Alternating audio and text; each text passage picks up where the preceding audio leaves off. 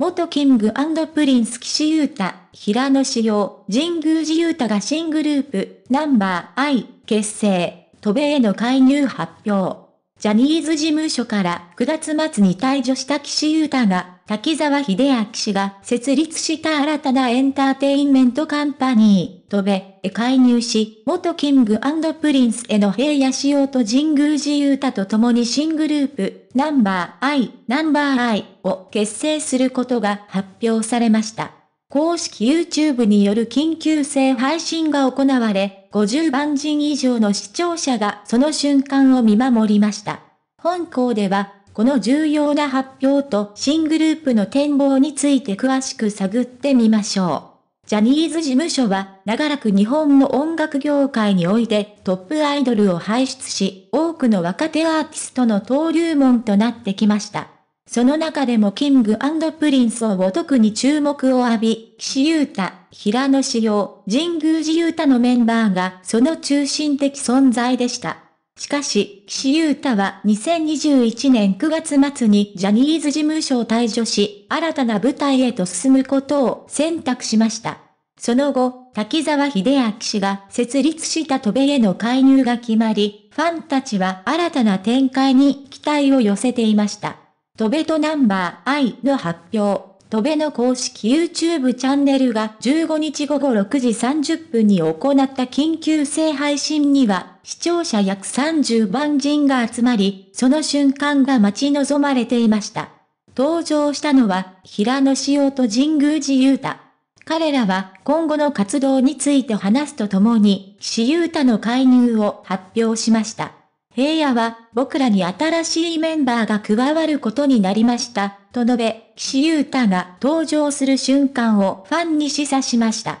その後、岸優太が緊張しながら登場し、戸辺での活動を報告し、よろしくお願いいたします。とファンに呼びかけました。岸優太のアクションには、平野と神宮寺から拍手が送られ、和やかな雰囲気が漂いました。岸優太は自身の登場についてユニークなエピソードを披露し、ビビったんですけど。このストロークなんですか？東京ドームって。僕もあのシルエットから登場するのをやりたかったですよ。でも、印象を残さないといけないと思ってこの、通り過ぎる、茶番劇をね、と話しました。その後、グループ名を発表し、その由来について語りました。私が思いつきました。僕たちのグループ名はナンバー I、ナンバー I です。由来は一番を目指すことは大切なことですが、それよりも大切なのは道筋だと思うんですよ。僕たちらしくどう輝けるか、ファンの方々と一緒どう楽しめるかですし、I、I はナンバーワンとオンリーワンにかけています。引きで見ると1にも見えますし、日本語の愛にもなりますしね、と岸優太は説明しました。その後、平野、岸、神宮寺はそれぞれの抱負を述べました。平野は、コンサートはマストでやっていきたいですね。音楽で、ファン、幸せにしたいし、誇れるものを作りたいです。と意気込みを語りました。岸は音楽を追求して新たな自分に出会いたいです。と語り、神宮寺は曲を先に聴いてこれをパフォーマンスしている人は誰なんだろうと調べてナンバー I と分かって好きになってくれたら嬉しいです。とファンに期待を寄せました。最後に、岸優太が、もう、やりたいことは、たくさんありますけど、行動で伝えていきたいです。と言い、神宮寺は一番大切にしたいのは、皆さんと一緒に大切な時間を作っていくことです。と語りました。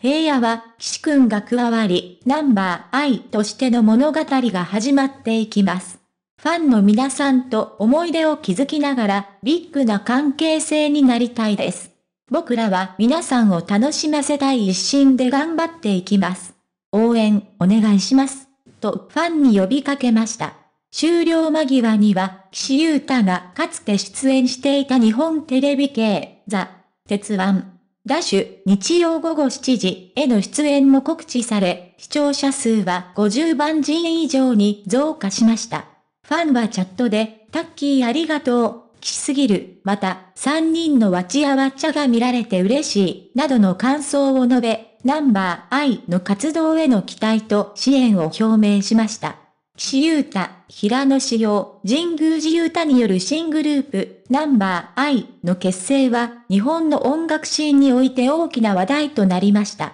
渡米への介入を通じて、彼らは新たな音楽活動の道を歩み始めました。ファンの期待が高まる中、彼らの新しい物語が幕を開けました。今後の彼らの活躍にますます注目が集まることでしょう。